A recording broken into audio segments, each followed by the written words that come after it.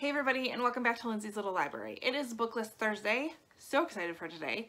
Book List Thursday is something I do with Sarah over at Sarah's Nightstand. We come to you every Thursday with some sort of book thoughts, recommendations, ideas, something bookish related. Today's topic is super fun. Um, I don't remember if it came from a subscriber. It might have. But I'm going to talk about books that are really great to read if you're trying out a new genre. So kind of a good introdu introduction to a genre you may not have read before. So I've got actually quite a few options here that I'll go over. Some are give I'm giving you multiple options, some not, but we'll just get started. So the first one, and the one I probably talk to the most to people is nonfiction.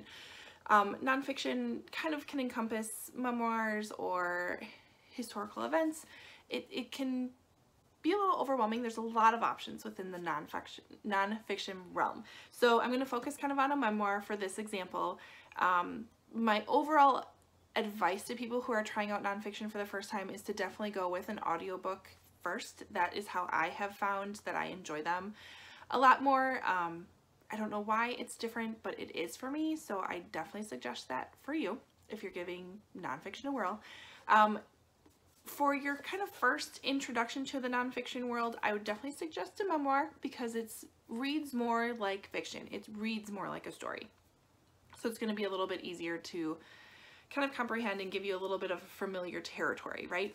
So my first suggestion definitely is Educated by Tara Westover. Um, this talks about Tara's life. She grew up kind of off the grid um, with a father who she believes was non was um, bipolar very interesting childhood. She never went to school. She was homeschooled um, and eventually made her way to college and eventually actually got into um, Harvard. Right? Yes, Harvard. Sometimes I confuse things. But um, really, really great story. Um, there's a little controversy around because these this is Tara's memory of growing up and some of her brothers have said that's not totally how it happened but that's how a memoir is it's how she remembers things happened um, but definitely pick this up. It reads like a nonfiction. There's a lot of stuff that happens. It should definitely keep your interest. Um, and I've heard the audiobook is also really, really great. So there's my first, first suggestion. Um, the next one, and I don't know if it's really a full genre, but it's, I guess, kind of a type of book, is if you want to start reading you know, you're into contemporary, but maybe you want to start reading some more controversial topics or um, stories that make you really think or really make you kind of question things.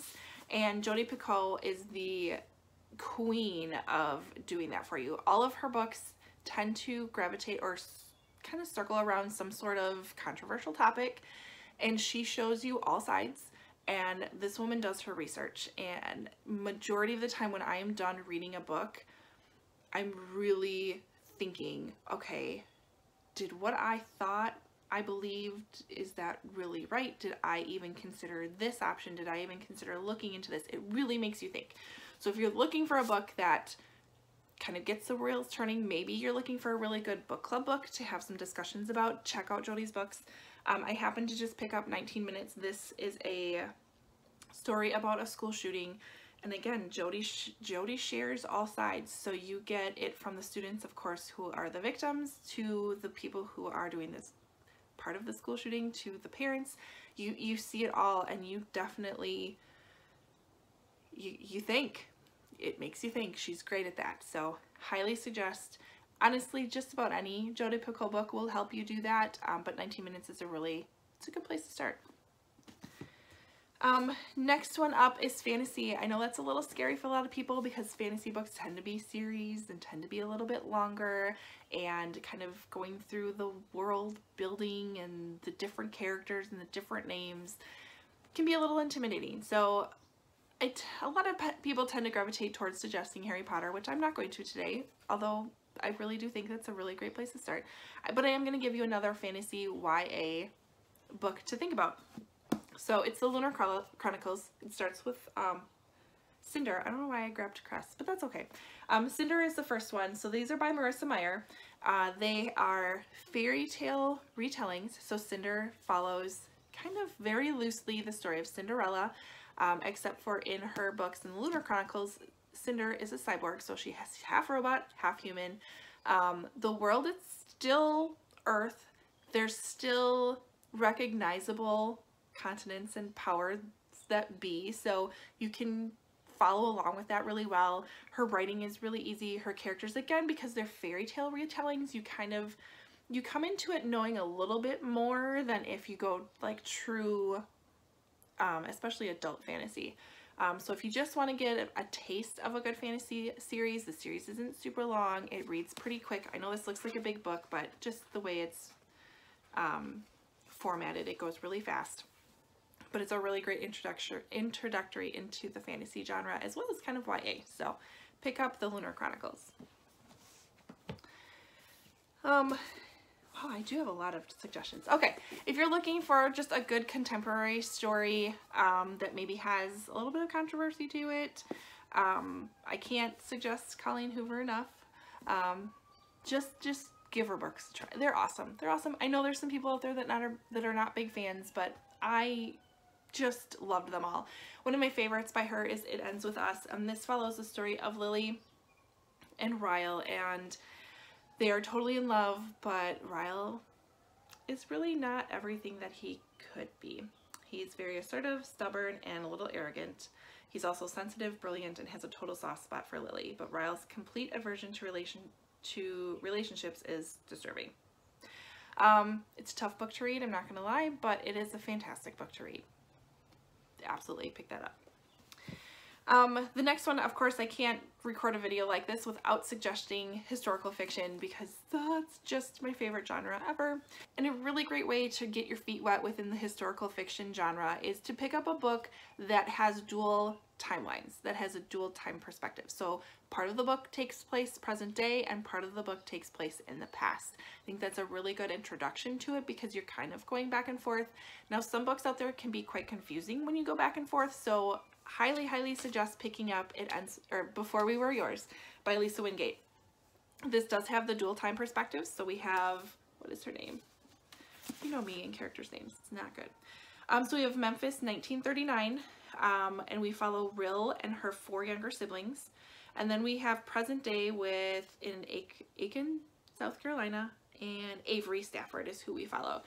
Um, and so this is this this is based on true events. Another really great book to pick up within the historical fiction realm is something based on true events because most likely you might know a little bit about it. This one I did not. This really centers around the um, Tennessee Children's Home Society where oh, this horrible woman named Georgia Tann um, kind of started the whole adoption movement, but she did it in a very not great way. So she would literally steal kids and then adopt them to um, wealthy families. Um, so you can kind of see what happens here. We follow the story of four kids that end up within the Tennessee Children's Home Society. Um, and you're going back and forth between when that happened and then present day and trying to figure out how those two worlds collide. But it's a really great way to introduce yourself to historical fiction, yet still getting that kind of con maybe contemporary piece that you may enjoy. But easy to follow, really great story, pulls at your heartstrings, and based on true events. So this is a really great start.